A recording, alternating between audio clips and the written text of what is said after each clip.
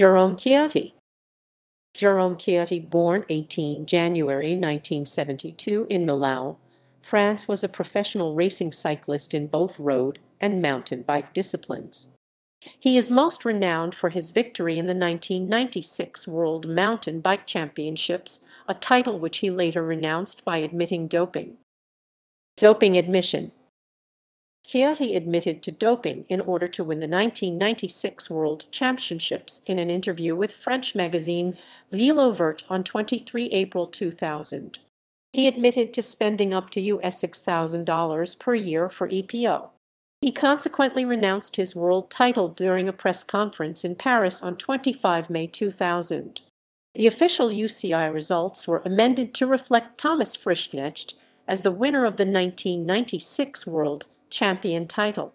Equals equals references equals equals